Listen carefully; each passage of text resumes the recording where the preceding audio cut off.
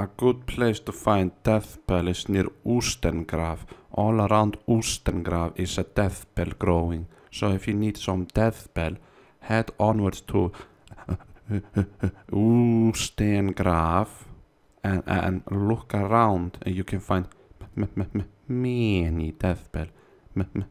Many. So if you need a bell that is death, then there's a death bell and